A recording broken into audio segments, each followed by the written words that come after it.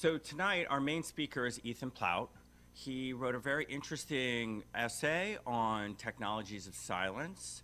We met up in the mission, and here I can recount some of his really like uh, picaresque adventures. You know, he studied something kind of like symbolic systems of his own crafting at Northwestern, then lived in Cambodia and knows a heck of more than anyone else at our table did about the king and his heir. And lived in Cambodia for three years writing for journalists uh, or for, for some kind of local journal that everybody cared about if they knew who the king's name was. At any rate, he then came back, went to Stanford, and has for six, it took six years to get his PhD and some of the stuff he's going to be talking about. And he's uh, stayed on as a postdoc. And of the rest, I will be silent. Ethan.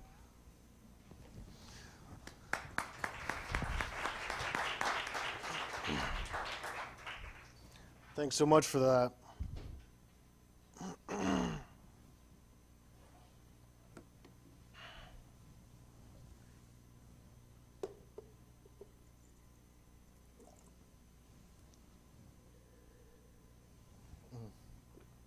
Delicious. So, filters, really interesting. This one mostly has uh, activated charcoal in it, which is made out of burnt coconuts, of all the things.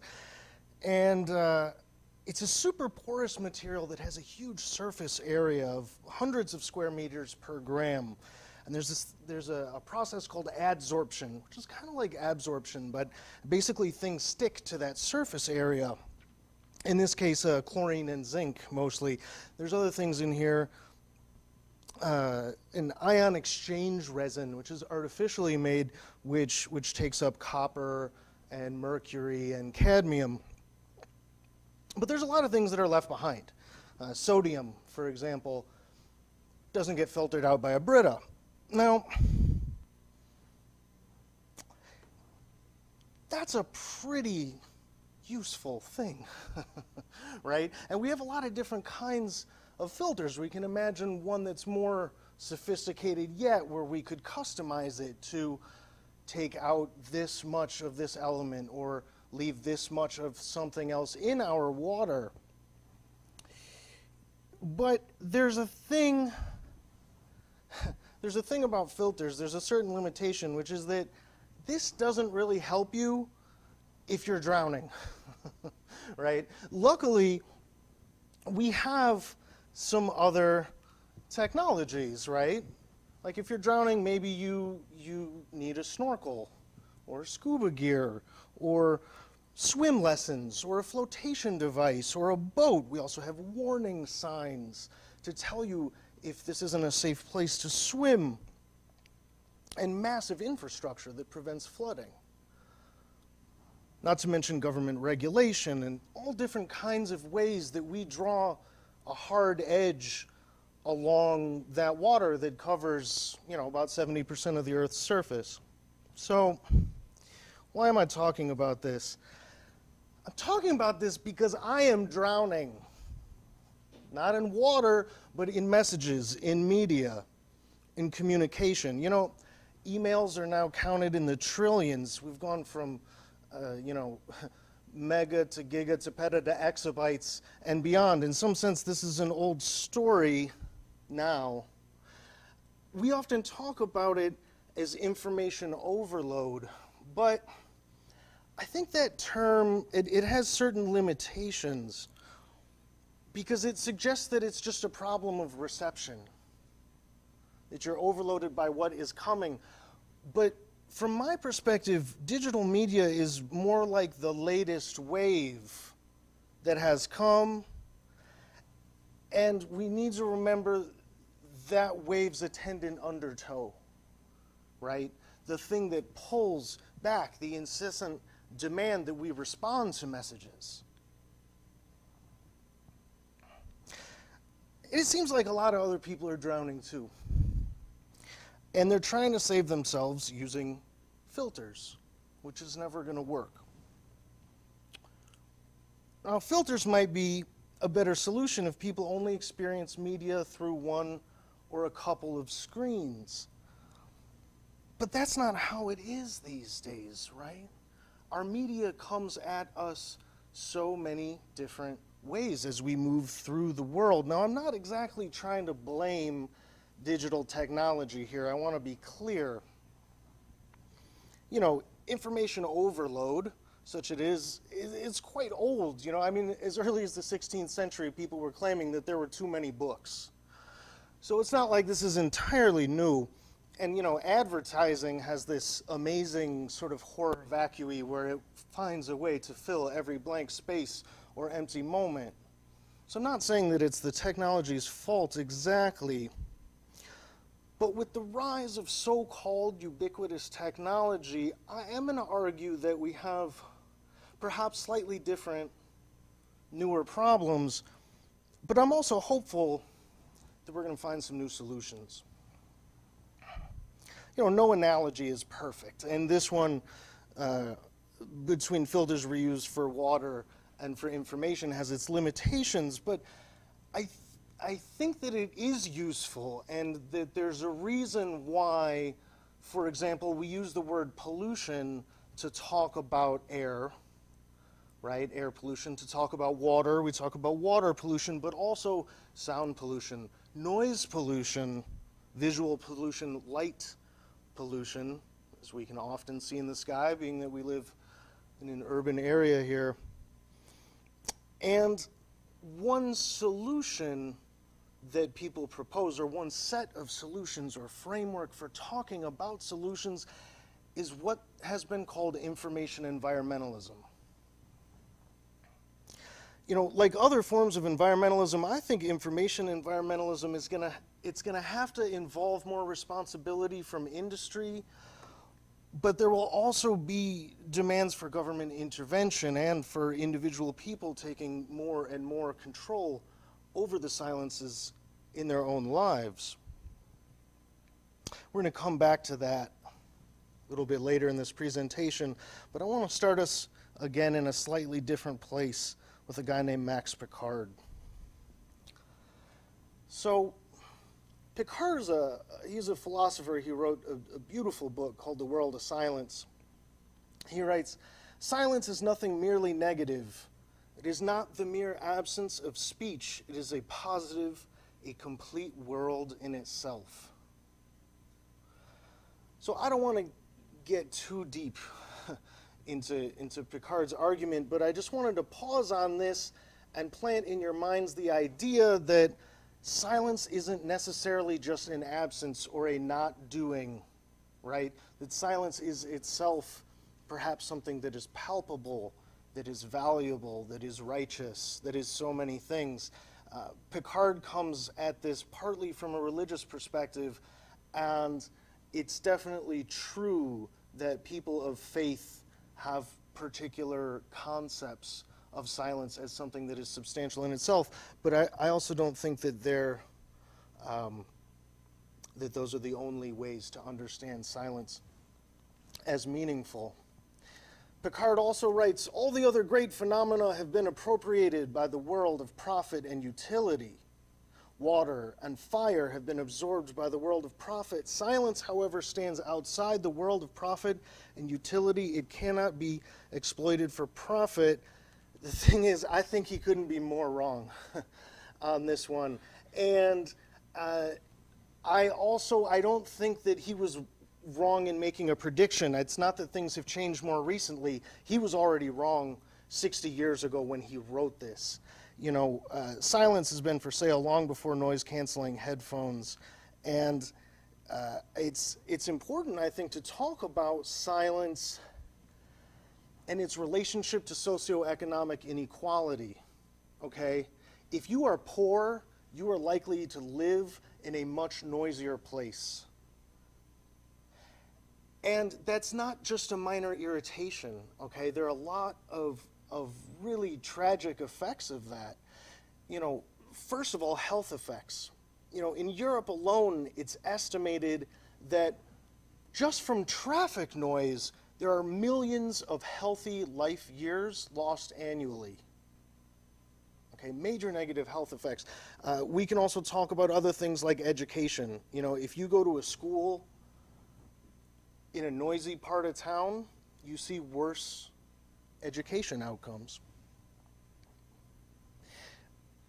This issue is actually even a lot older than that. You know, uh, you go all the way back to, to Rome and Greece, and there were people escaping the noise of the city to go to country estates because the clamor and hubbub of cities even then was too much for what they thought they needed to step back, to contemplate, to have an internal life. So I, I recently had the luxury of, of going to a hermitage down in Big Sur. I went for about three nights. And it's really, really lovely there. You know, I, I had I had my little room and uh, a little tiny little tiny walled garden that faced the ocean, and uh, nobody to bother me, nobody to see me, nobody for me to see. I could just spend a little time, look out at that water, and uh, it was a really wonderful experience. But I'm not I'm not here to say that I'm coming back from the mountain with some wisdom that I'm going to impart. On the contrary, I mean, I had a good time, but I was still me. You know, I sat outside and I thought about things. I also, being a little bit too much people, unfortunately smashed one of their chairs while I was sitting outside, so I feel bad about that. It also interrupted my train of thought. But uh, I, I do come back from the mountain with something else, which is uh, it's a rough price list for what it costs to hang out up there. And I'll tell you what, uh, you don't get to stay in a place like that for less than $120, $130 a night. Now, that's not a crazy amount of money to the people in this room, perhaps, but for a lot of people it is. And so, uh, you know, it's clear that privacy is both a right and a luxury good these days. People pay money to keep their lives private. And I'm going to suggest that the same thing is true of silence. That silence is both a human right and a luxury good. And that there's a very important tension in that, in that statement. so, making our way through the introduction here, I'm going to talk a little bit about silence as a right. I'm going to talk for a few minutes about analog technologies of silence, just to sort of set the scene for a discussion about digital technologies of silence. And then we'll have a little bit of a conclusion, and hopefully there'll be some, some questions that I can answer.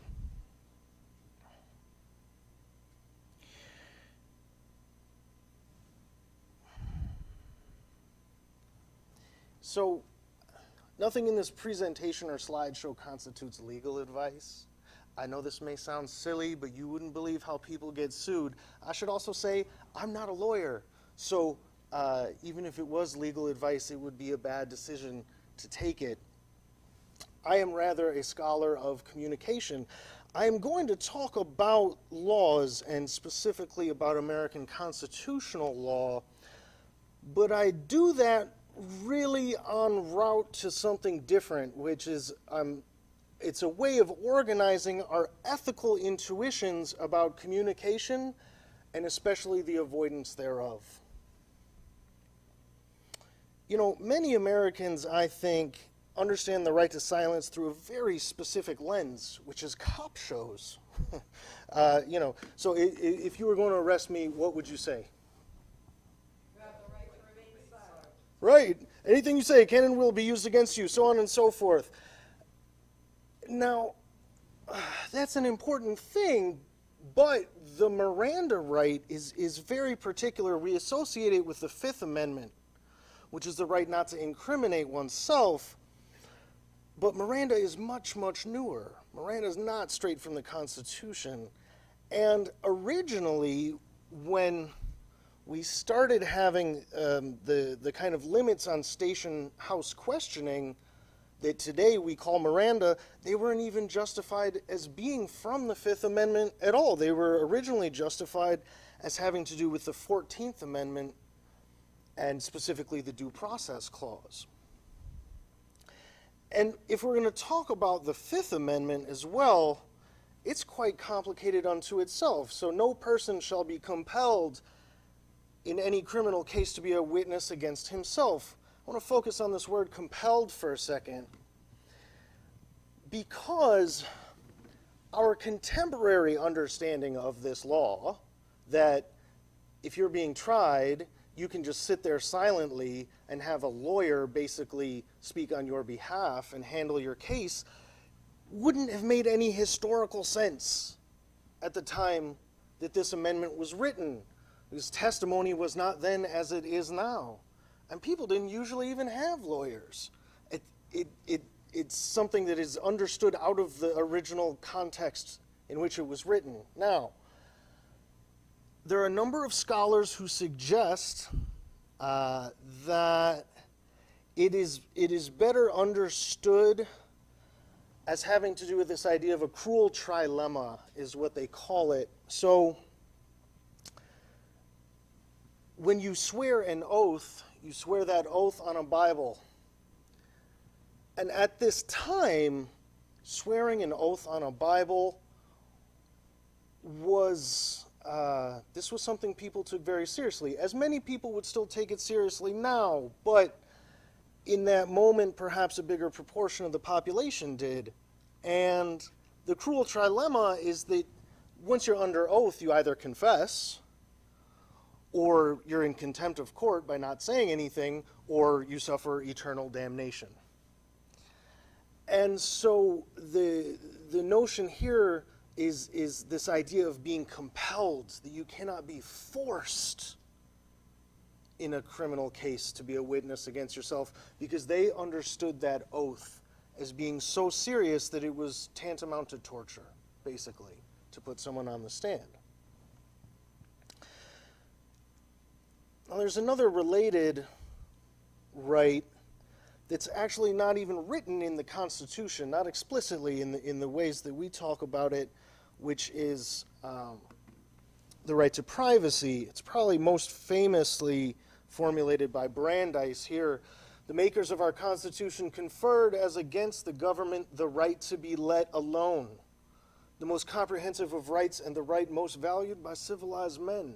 Every unjustifiable intrusion by the government upon the privacy of the individual must be deemed a violation of, drumroll please, the Fourth Amendment. So, as we work our way through this, we've already had the, this sort of constellation of related rights to different kinds of silences justified by the Fourth, the Fourteenth, and the Fifteenth Amendment. I'm going to propose something different today, uh, which is to organize these and other rights to silence as concomitant with the right to speech, as I prefer to interpret the First Amendment. Uh, although I'm, I'm really less interested in U.S. law than I am in human rights. But this is all to say that I believe in a more general freedom of communication, right? Speaking and not speaking, listening and not listening, looking and not looking, typing and not typing are, for me, inseparable components of this more general right to communicate you know, I'm not really arguing the intentions of the framers here. I'm rather arguing for what I think is a reasonable way to think about an attempt to balance the components of this larger, more inclusive right to communicate or concept of free speech. You know, there are also problems in the wording of the First Amendment. You know, we talk about the freedom of the press which as a, as a former journalist, it, it, it, pains me to talk about this in, in a particular way uh, because I love the freedom of the press. And yet, I'm not sure that we should be guaranteeing freedom to a specific machine. Right? The press is the printing press. And I'm also not sure that we should be guaranteeing a particular business. It's kind of out of character for the framers to to protect a particular industry or a particular machine. Um, and you know, not for nothing, uh, you know this this this famous saying, "Freedom of the press is guaranteed only to those who can own one," right? you know, uh, I think that's that's famous for a good reason. And today we, we have a kind of update on that misunderstanding, which is people talk about things like internet freedom. That's not intelligible to me, really, as a concept, because I don't think freedom inheres in a particular technology. So, let's talk about how I do understand these rights.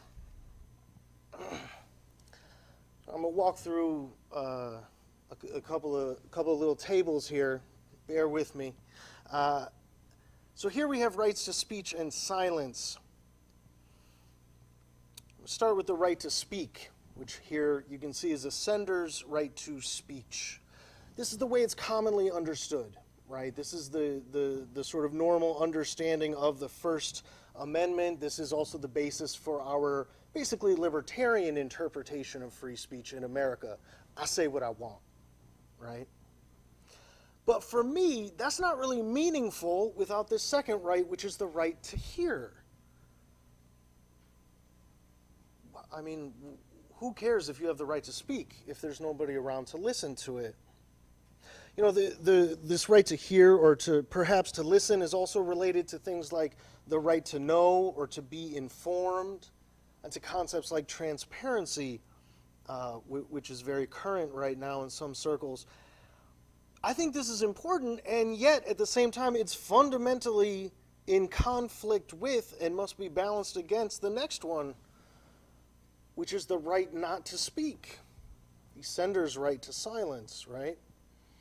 You know, uh, the, the right to remain silent it's not just for self incrimination. I believe that there's a more general right to be silent. There's scattered case law on this. You know, the one that people uh, would know most commonly is that school children cannot be forced to recite the Pledge of Allegiance. Right? It's a classic constitutional law case.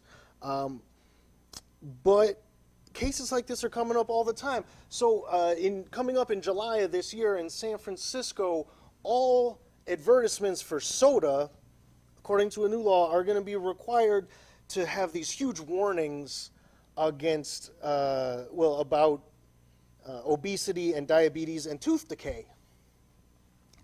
But the soda producers are, are trying to work their way through the courts with a First Amendment defense.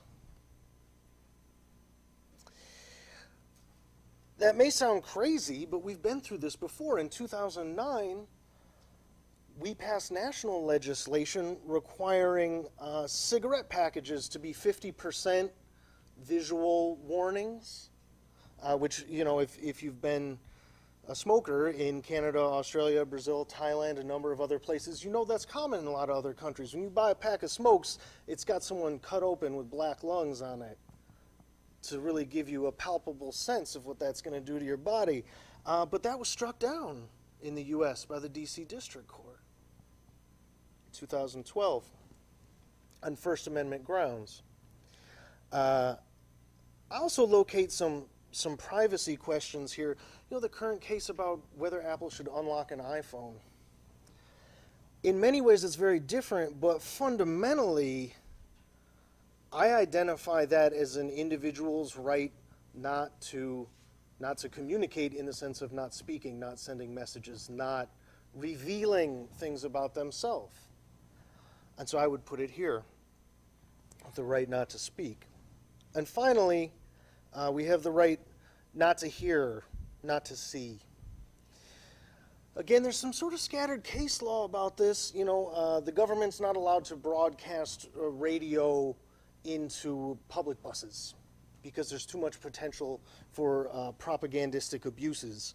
Uh, we also have things like uh, noise ordinances, you know, certain kinds of protections about what we're forced to hear. Uh, and then we have some really crazy laws. Um, in 2011, North Carolina passed a law that specified that women should be allowed to cover their eyes and ears when abortion doctors, as required by this same law, show them ultrasound images and play audio of the fetal heartbeat. Uh, luckily, that that was stopped um, when the Supreme Court declined to hear an appeal last year. But these rights are real. people are fighting over these day by day in the courts. And this isn't the only way to frame these rights. So we can talk about positive liberties and negative liberties. A positive liberties is typically something like a, a, a freedom to, a right to, whereas a, a negative liberty is more like a freedom from something. Uh, they're not easily comparable. It's not that one is necessarily stronger than the other, though oftentimes positive liberties are understood as being stronger than negative liberties. I'm just going to walk through this really quickly. Um, so here are those same rights framed as negative liberties, as freedoms from silence and speech. So here, you know, it's not the right to speak, but the freedom from prior restraint, not the right to hear, but the freedom from excommunication, not the right not to speak, but the freedom from compelled speech, not the right not to hear, but the freedom from audience captivity. It's another similar uh, frame that we can do in terms of attention, right? The right to be heard, the right to listen, the right to be ignored, the right to ignore. And then again, in terms of attention and inattention, the negative liberties, freedoms from cacophony, distraction, surveillance, compelled attention.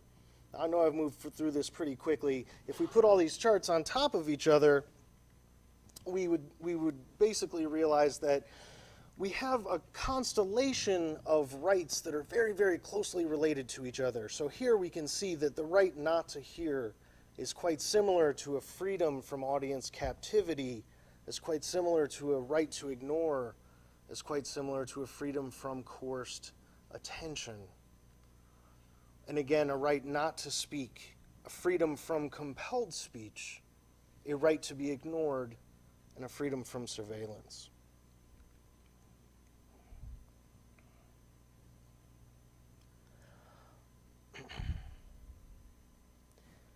You know, there are a lot of technologies of silence out there. We have uh, we got earplugs, mute buttons, um, sensory deprivation tanks, anechoic chambers, I'm actually going to pick. Uh, I'm going to pick a, a, a technology that's it's so simple. It's like you almost don't want to call it a technology, um, which is this jar.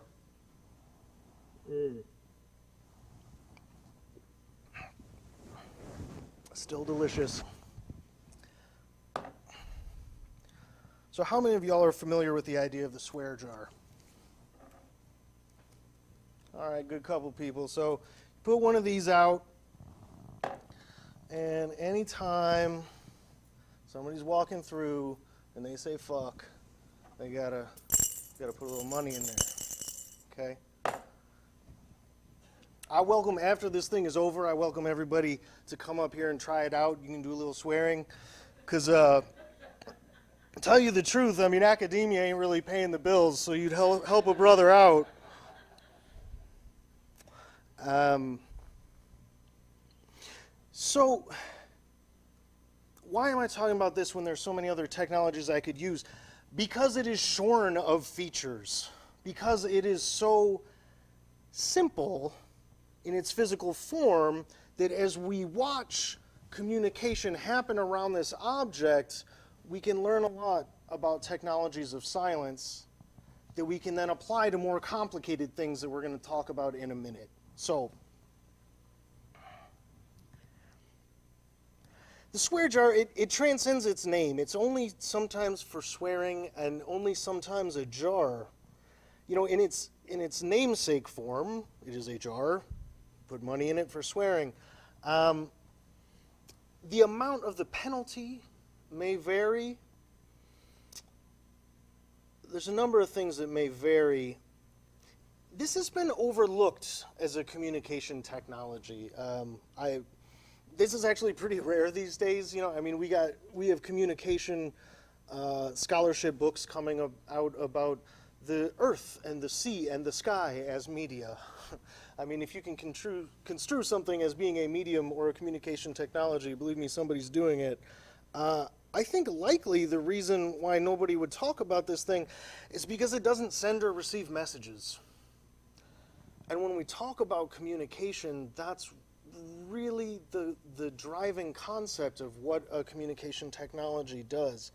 But I actually regard as artificial any distinction between a technology of science, a silence, and a technology of communication. For me, those things are fundamentally intertwined. Uh, I'd be happy to talk about that in the Q&A if people want to talk about it. Now, the earliest example of this thing, or something that's recognizable as being a precursor to this thing that I can find from the 16th century, was more akin to a, a kind of a wooden tithe box. But the, the man of the house was empowered to, to collect fines from you know, women and servants who swore, basically. And this, this gendered imagery persists in depictions of swear jars and swear jar like objects uh, through, throughout history, uh, both, both fictional depictions and non fictional depictions. But it's actually kind of interesting because sometimes women are cast as like the prudes in these narratives. All the you know the the guys in the office are being naughty, and so the women are making them pay into the jar. And sometimes it's quite different, and they're actually cast more as as the transgressive characters, right? They're they're reveling in their indiscretions. They're enjoying paying money into that jar. Uh, I had a little cartoon here, 1914, from the magazine Punch. In the caption, the proprietor, who's who's holding the box off there to the right, he says, "There, Bill, that's a penny you owe to the Parsons swear box." And Bill says, "I'd better do what I've done afore put a half crown in and have a season ticket.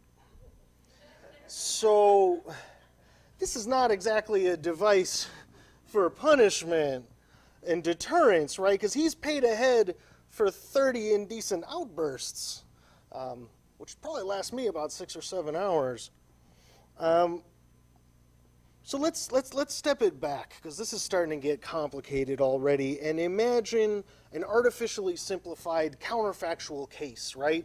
So we have the jar, and there's one person, and they're alone in the apartment, and there's no telephones, internet, or other audio connections of any kind to the outside world. So in that case, the jar seems pretty clearly intended to prevent the production of messages rather than the, the reception of those messages, um, unless, you know, from your lips to God's ears, right? I mean, there, there are ways that we could, we could think our way out of that, but it, it seems like it's really there to limit production. And conscience is really the only enforcement. Now, you know, if, if you got to pay 50 cents or $500, that changes the dynamic, but at the end of the day, it's still up to your own conscience. But once you have a partner or roommates or children, the jar likely becomes a restraint that's imposed on some people by others. You know, it's, it's more akin to censorship than to the, the sort of willful avoidance that I'm more interested in. And even if people are willing participants, the system is going to set up these kind of wild imbalances. Some people got more cash than others. $5 might mean a lot more to an eight year old than to that person's mother or father. Another thing that people do is they'll set aside that money either for a favorite charity or for a trip or a purchase that's coming up. And you know, if you dread that purchase, that would create perhaps an extra level of deterrent. You might uh, even discourage other people from swearing to try and keep that jar light. But if you're excited about that purchase, you know, that creates a kind of perverse incentive to swear more Maybe try and get your little brother to swear so he's got to pay into it. So now let, let, let me turn from, from the namesake swear jar to a kind of figurative concept. Because um, it need be a jar only by convention, in some sense, right? Anything that holds money would suffice. You use an envelope, a drawer, a bank account, but physicality is still important you know, a jar on the kitchen counter is very different from a jar in the living room. You know, a jar is mobile, but a drawer is stationary, and a bank account may not really have a physical presence in the house at all. I'll give you a funny example. There was this guy who had a really foul mouth, and the jar wasn't working. And so his wife wanted to upgrade And so she had this idea. We're going to take the money out and we're going to put something into that jar that's so horrible you wouldn't want to touch it. And every time you swear, you got to reach in and touch that thing. Their initial idea was to use a dog's heart, but they, uh, they decided instead to go with a live giant African millipede, uh, which grew to about a foot in length and it required an upgrade from jar to aquarium. So, you know, just as a jar is not always a jar, nor is it always a deterrent to swearing. I love this quote. This is from a nurse. She says, The kids have started a swear jar for me. Every time I talk about work, I have to put a dollar in it. In the space of two weeks, I think I got something like 60 bucks in there. So the, the, the sort of boundaries of the concept are unclear. It doesn't have to be a jar, and it doesn't have to be fiduciary in its functioning, and it doesn't have to be a deterrent to swearing. So what are we left with? What is a swear jar at this point, right? Like it potentially includes most of law and order. Uh, but what's interesting that we can take away from this is that this apparently incidental little blockage to communication, it starts to spread out into really complex systems and relationships between people when it's considered in context.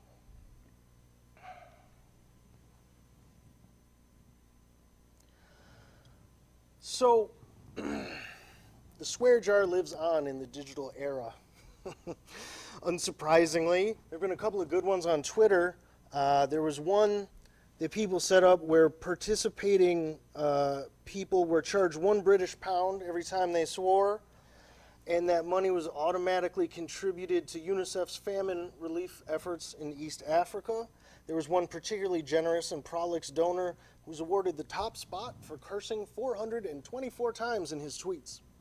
Uh, there's a similar project where uh, the user was able to select between different charities, uh, and they reportedly raised more than 34K. Again, here we see that perverse incentive that I was talking about before, where it doesn't seem to prevent people from saying that thing, it ultimately encourages them.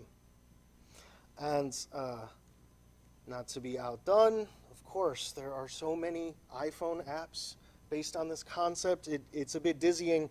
We have the swear jar app, I swear, the global swear jar, douchebag jar, curse jar, sin jar, vice jar. The last one's actually pretty sophisticated. It, it connects to bank accounts and your GPS and to your other friends' phones, and uh, it has an elaborate reporting system, and it'll automatically transfer money and then lock it away for up to two years. Okay, let's get away from the swear jar for a second. So the, this is uh, this is an image from from telecom operator Huawei's patent application for something called, this is a really inspiring name, Method for Implementing Do Not Disturb Service and Intelligent Phone Terminal. Uh, so when we look at this image, what do we see? Well, you can set certain times of day and certain lists of contacts and whether those people should be able to call you at those times or not. In a sense, this is maybe pretty familiar. Something like this is pretty much built into the iPhone now. But one thing I would like to point out about it is that the wording is important, right? Blacklist, VIP list, these are really fraught terms, and I think it's important that we're careful about how we name these things. You know, when one thinks of a blacklist, you know, I, I think of uh, I think of Hollywood under McCarthy. I think of all kinds of blacklists that I wouldn't want to be associated with. Um, VIP list is pretty funny too. You know, if I'm out on Friday and I have turned off the, you know, a list of people, I don't want those people to call me because I'm off and I'm having a couple of drinks. It's probably very important people that are specifically those I want to block. I don't want those important people calling me when I'm out. Okay, let's look at another one.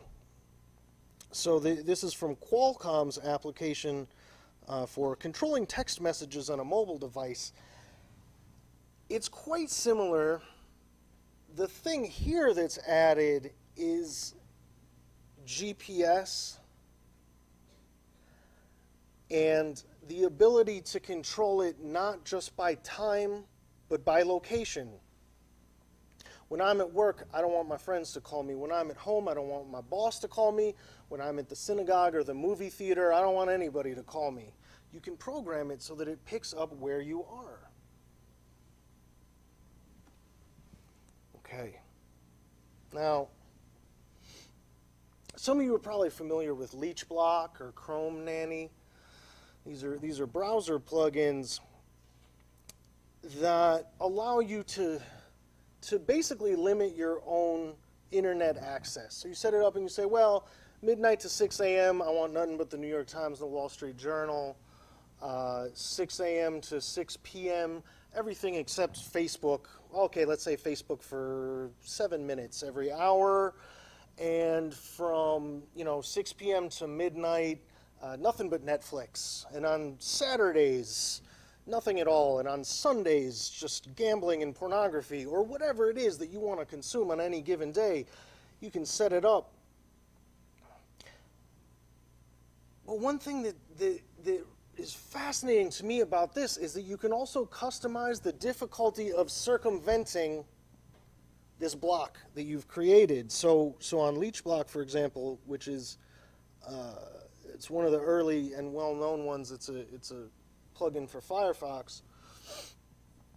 You can select a ran. It will generate passwords of random characters of 32, 64, or 128 characters.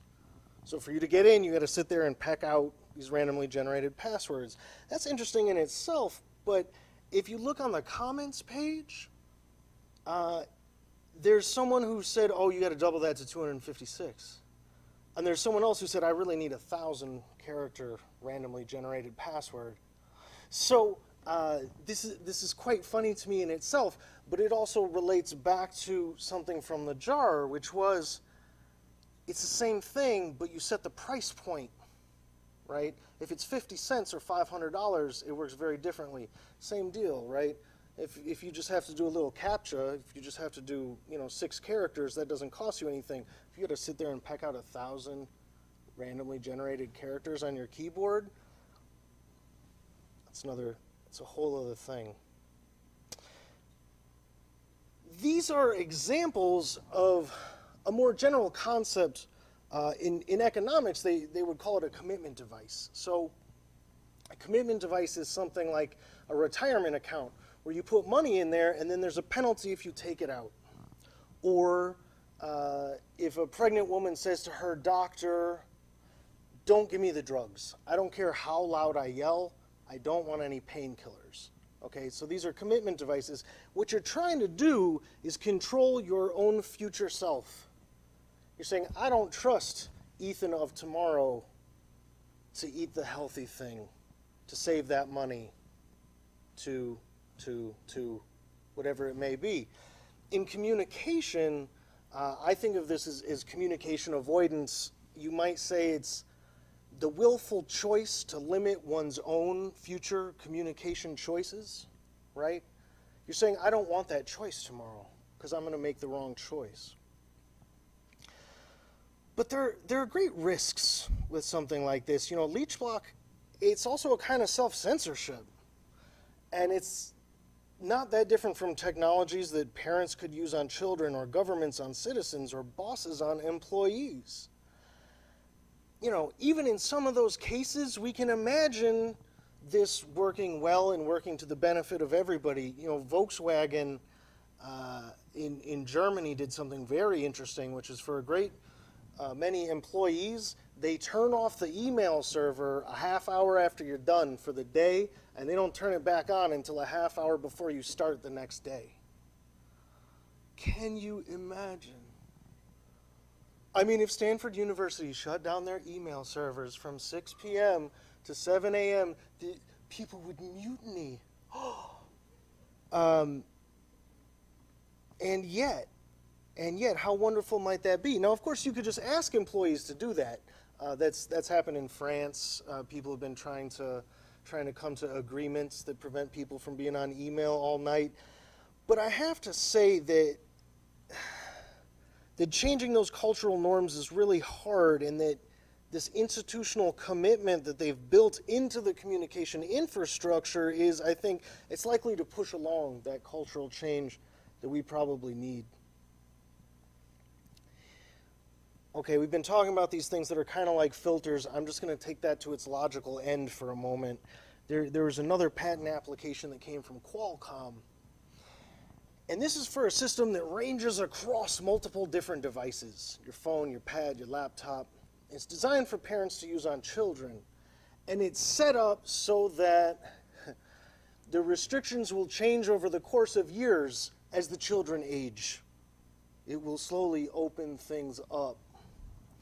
But more than that, it also has these algor- algorithmically generated restrictions. I, I just want to quote from the application because I, I, I, couldn't say it any better. They say a parent may select a parental control mobile device configuration that is automatically updated to include the most common settings used by, for example, parents who live in Oklahoma City and whose children are in the Boy Scouts. What a funny world that would create, right?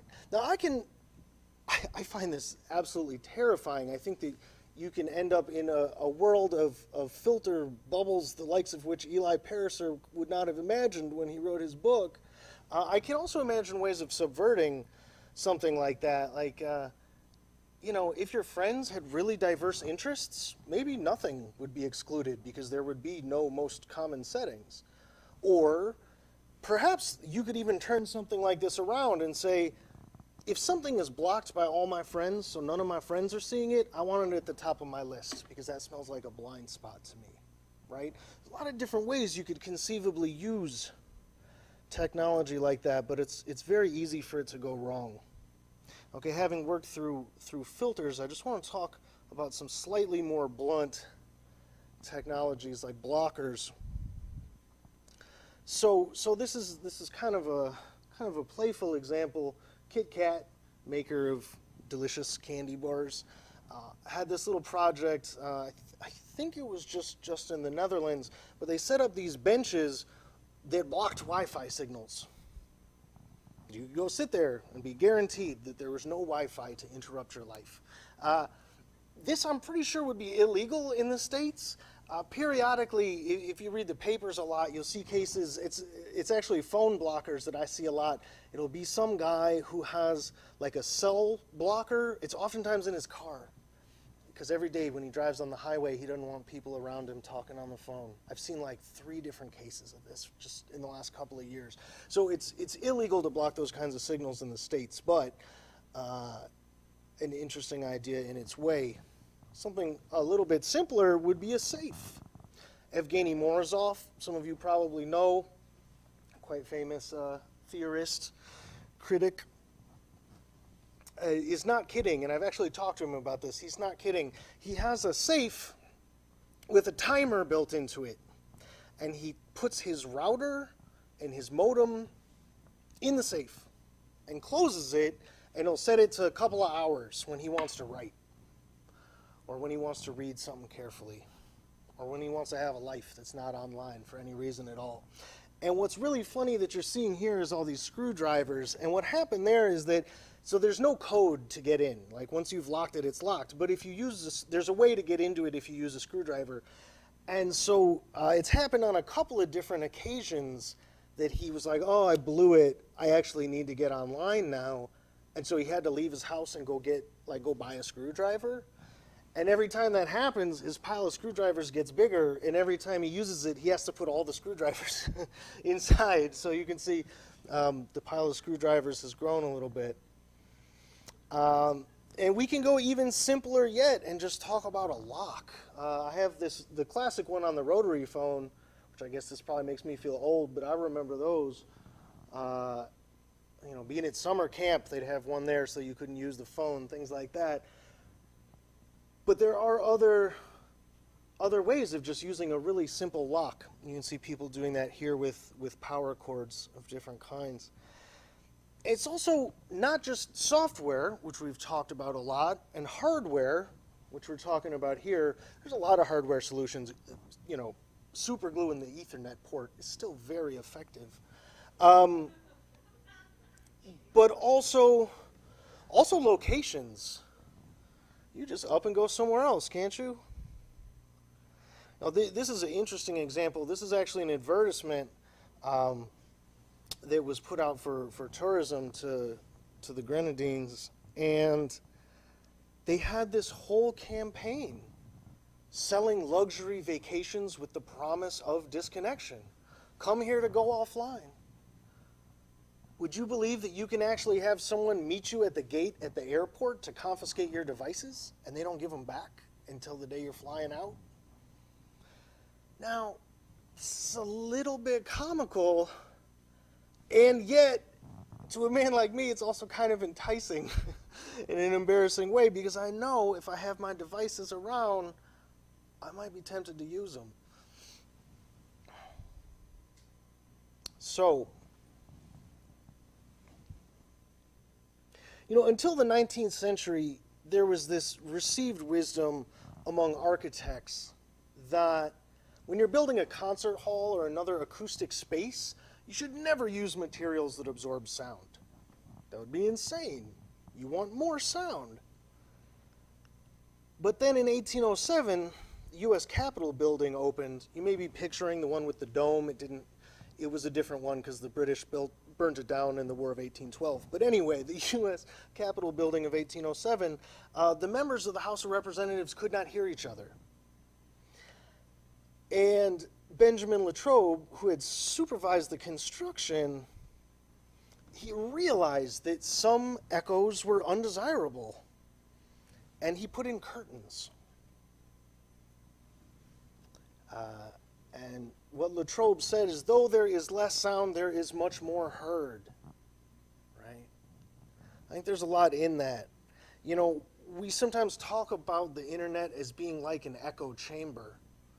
I go there and I yell things into it, and nobody hears anything but the reverberation of noise, right? Um, I think that, like Latrobe, who who felt that suppressing certain sounds was a, a fundamental duty of architects, I think that you know people who are building digital technologies have have a kind of obligation to help people not just speak, but also be able to hear. Also, be able to not hear anything when they don't want to. Also, to not speak when they don't want to, not to be leaking information that they would prefer to keep to themselves.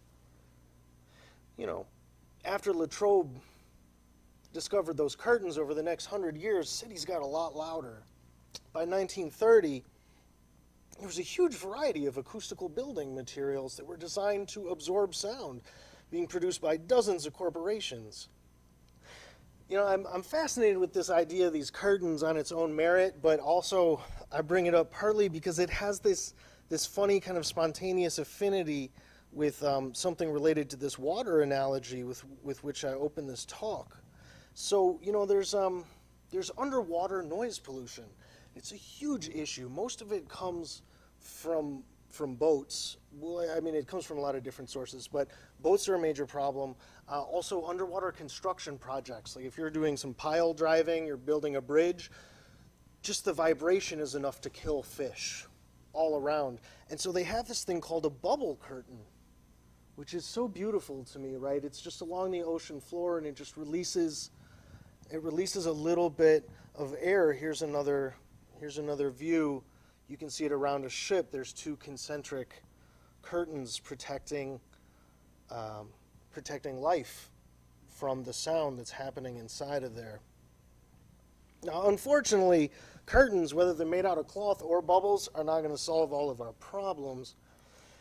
You know, solitude, like privacy, I think it really needs to be understood as a fundamental right rather than a luxury for the privileged. You know, we talk about internet addiction, information overload as kind of diseases of affluence, right? Like those, those oh, those, those are those are problems that rich people have. But I think in the long view, we're going to see that that's a mistake. You know, um, you know, it, it, it took not that long, you know, half a century for television to go from this is the technological marvel that will educate the masses to television is the scourge of the poor. It happened pretty fast. Uh, and you know, there's other things that we think of as diseases of affluence like obesity and diabetes, which are also now spreading around the developing world. So, as the digital divide, such as it is, shrinks, I'm afraid that opportunities for disconnection are not going to be equitably shared, just as opportunities for connection have not been equitably shared. And that that's going to open up just a, another new, different kind of digital divide of, of people who can afford privacy and solitude and other kinds of healthy silences, and those who can't afford that. You know, ultimately, a robust solution is going to require individual, collective, and political action. I think government's got to play a role in this information environmentalism, if we want to call it that. But it's also really difficult to, to draw the line between that and censorship. It's so easy to get into a place where the government says, oh, we're, we're protecting you from something. You know, industry has a role to play too, but there's really no reason to expect that the free market is going to deliver a just distribution of silence to different kinds of people right now, you know, many individuals don't really have good tools for carving out silences in their own lives, and I think that's something that that industry can really help to provide. But even if individuals did have such tools, it would be a disaster to let the world just get infinitely noisier and expect people to handle that for themselves. Um, you know, there there have been some recent developments that are really disconcerting to me as I watch this. So we've been talking about these filters and tools that block things. There have also been some things recently that don't just block it but transform it. The one I'm thinking of is you, you may have seen in the news there was a plug-in that turned Donald Trump's name into somebody with tiny hands. And so, like, if you're looking at the New York Times, it said, you know, somebody with tiny hands wins such and such a caucus and there was another one that turned pictures of Trump into a profane emoticon, which I'm not going to show on screen. Uh, and that, that may seem funny to us now, but you know, what if that software was turning Obama's name into racial epithets, right? What if it was saying, uh, oh, your baseball team didn't lose, they won? you know, there are so many different ways that we can now algorithmically not just hide but also change what we're seeing um, and distort the world. You know, when the world is a mess, these means of escape from that mess are necessary, but they're also dangerous. There's an interesting comparison to be had, I think, with, um, with people who are deciding to live alone these days. This is something that's been coming for a long time. There's a great book that came out a few years ago called Going Solo, which I highly recommend. Um, we have an aging population. We have women who are more educated. We have more people who are divorced. We have all kinds of people who want to live alone for different reasons. And that doesn't mean living a lonely life, right? You know, just as avoiding communication doesn't mean an antisocial life. You could live alone and have a, a, a, lo- a lovely life. So, just as architects will need to rethink housing for those who choose to live on their own, I think designers are going to need to rethink media for people who choose to tune out.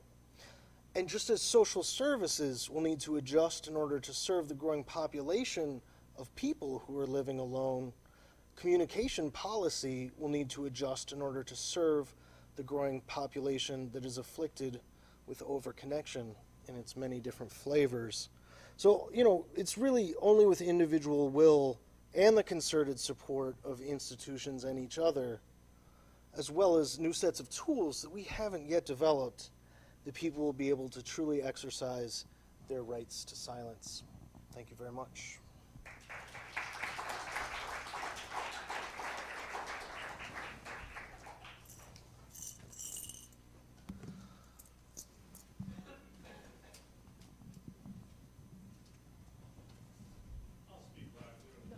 We're podcast, we're recording for the podcast. Could you give me an example of when I might want to employ my right to be ignored?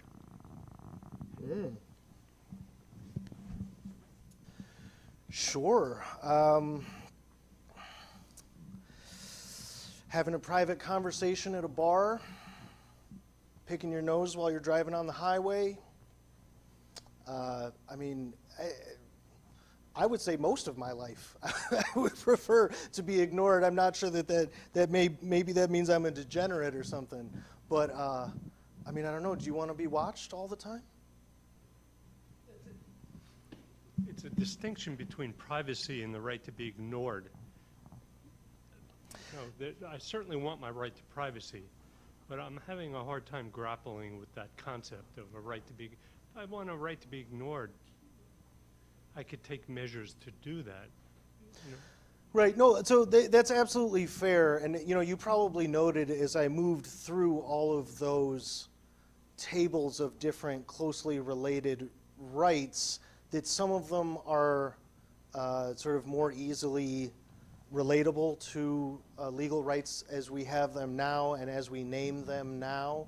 You know, the right to be ignored for me is closely related to, well, I mean, we, we've been through it, right? So, uh, in some sense, maybe that is not a perfect way of framing that right. That's just a way of talking about that right with specific respect to attention as opposed to um, the, the production of messages. So.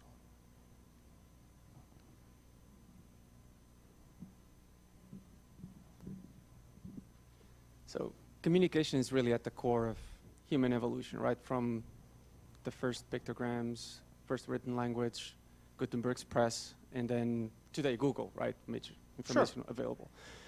However, do you think we're coming to a point where too much communication is actually the opposite of evolution, and we need to get more silence towards evolution? I can give you one personal example. I work in healthcare, and in the beginning, doctors required more and more information to do a proper diagnosis of disease. They said they need more medical images, they need prescription history, they need um, biological information from the patient, and DNA information. But today, they get exabytes of information every day. Sure. So their decision making is actually more complicated because of all this information, it's actually contradicting the original diagnosis. Um, so we are actually working towards improving some of that information so that we filter out all the noise. Right. So do you agree that the constant evolution of technology and mankind will actually come from more filters, less noise, and a little bit more silence? So, uh, in broad strokes, I would agree with, with some of the spirit of what you're saying. Uh, I think that this problem of there being a lot of noise and a need to carve out silence is not an entirely new problem. I do think that with so called ubiquitous technology, with the rise of the mobile phone, with all of these things that are now so familiar to us, that the number of messages we got to handle clearly it's gone up. Like clearly it is now harder to carve out that silence. Uh, i think for a lot of people it has been hard for a long time. Uh, so I, I don't want to pretend that this is a totally new a totally new thing but but yeah I, I tend to think that that's right. I also think that what you're talking about is partly the problems of, of big data which is a slightly different set of questions of okay now we have so much information we don't know how to sort it out is a little bit different from I have so many messages coming in, I don't know to which messages I should attend. But closely related, closely related. Hi. Um, this is fascinating talk. Thank you. I really enjoyed this. I'm wondering, do you think it'd be accurate to generalize what you're saying as people should have the right to control the flow of information into and out of themselves, so to speak? Yeah, I mean, I, I think that's that's that's um, okay. So here here we get we get into some tricky stuff. Um, do we think of communication as simply the sending and receiving of messages? Is that an adequate description for the process of communication, or is communication something that is subtler and happens uh, th- through rituals and things that perhaps transcend the idea of messages coming and going, right? So I think the application of what I am saying to the ways that we construct devices that send and receive messages, absolutely what you're saying, uh, it, it seems dead on for me. Um, it, it sort of depends on how we want to define the idea of communication. I know that's a kind of annoying answer, but it, does that make sense? I think so. I, I'm just wondering, is the flow of information, is that equivalent to communication, or is communication one form of information flow? Mm. Uh, so, uh, I, th- I think really we're into definitional problems here. I mean, it, so so let, let me put it to you like this. Uh, there's a communication theorist I, I really adore named John Durham Peters, and his definition of, of well, I mean, he gives different definitions, but one of his definitions that he gives is um, it, it's the, the the the struggle to reconcile self and other. Okay? Communication is the thing I do to bridge the gap between us here. And if you define communication that way, it doesn't really sound like it's the same as information traveling over wires necessarily. So it, uh, I, I think we're, we're really, we're, we're into terminological territory that's very hard to parse out.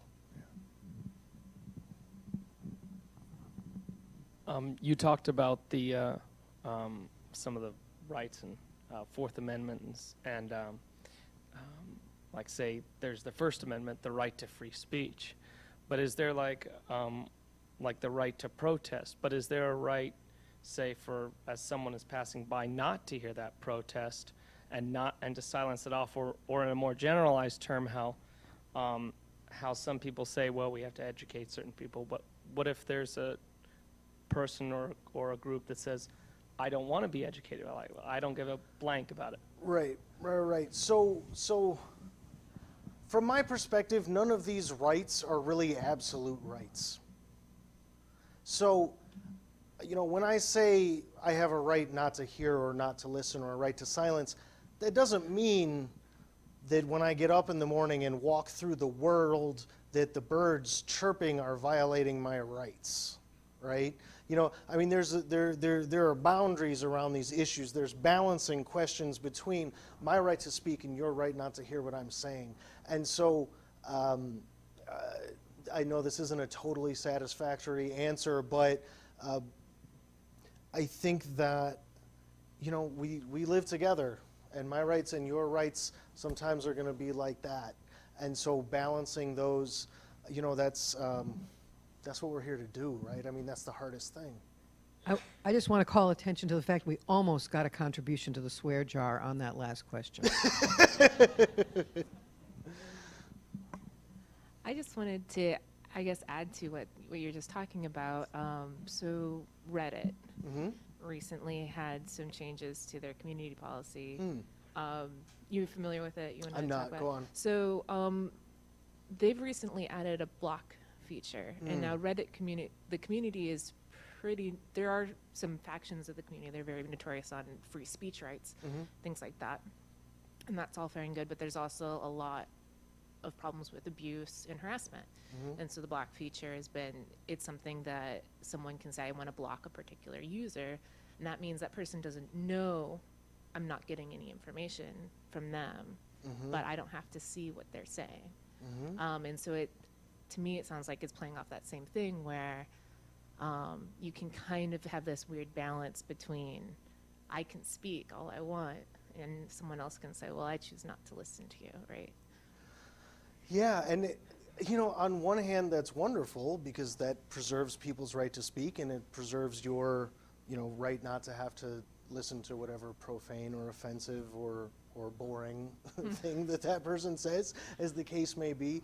Uh, you know, there are ways in which we can run into trouble with that, right? If everybody starts to block serious news and just looks at pictures of kittens, like, okay, democracy burns, you know.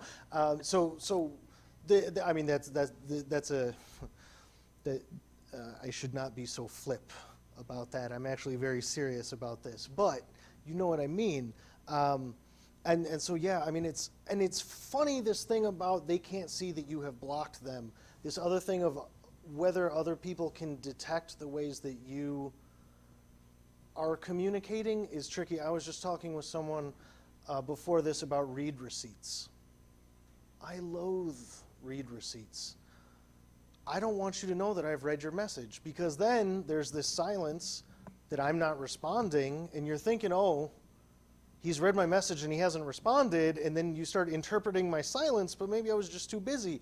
And for me, that's at a point where I actually just don't read a lot of messages because I don't want people to get a read receipt message that would let them know that I had read it, which is a little insane. Um, but you know, certain platforms, Facebook, don't let you turn off read receipts. So uh, you know, that's that's something that you can't control. S-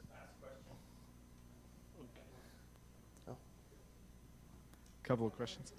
Um, so uh, there, are, uh, I'm really fascinated by the topic and uh, really appreciate this uh, very interesting uh, presentation.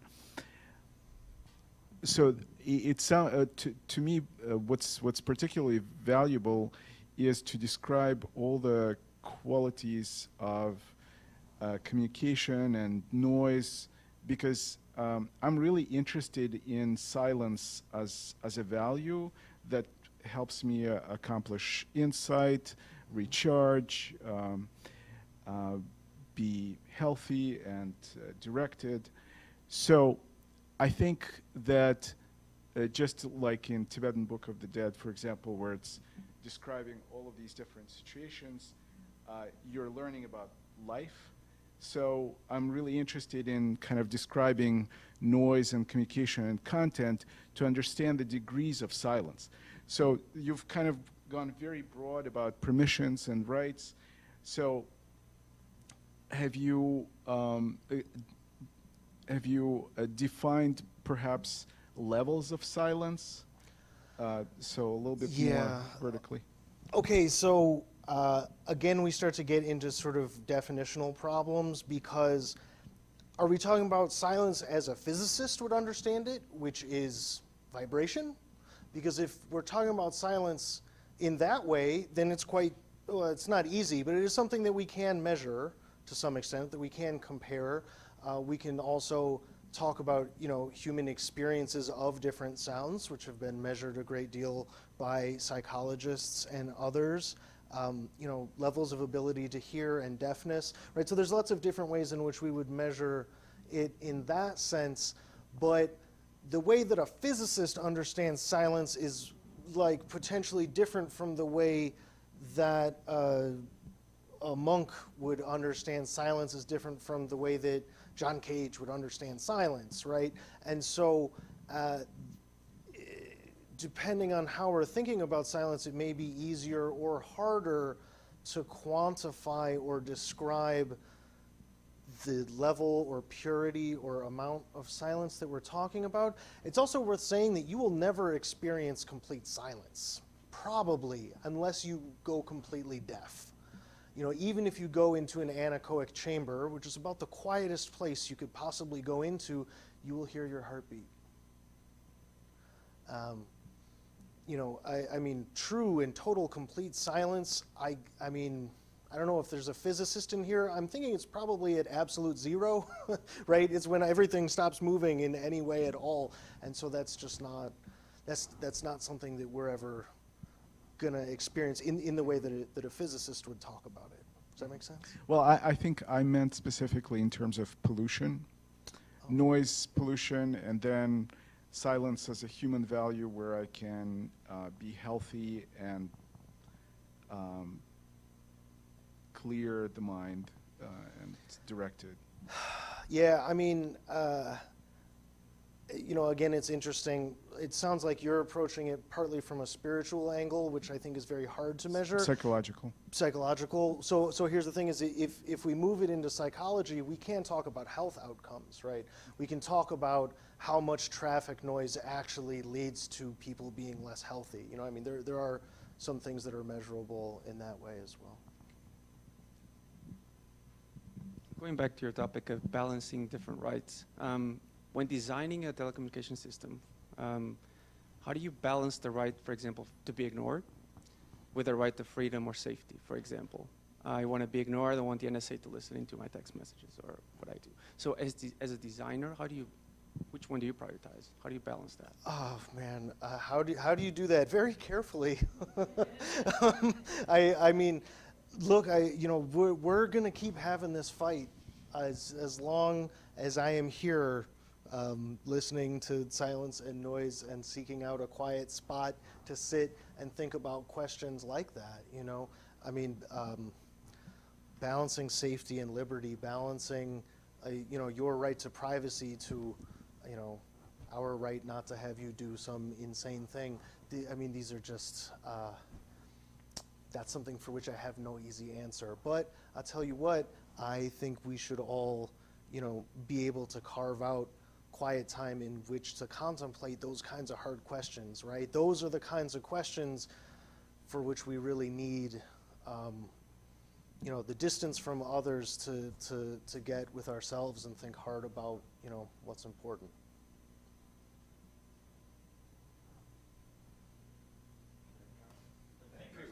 All right. Yeah.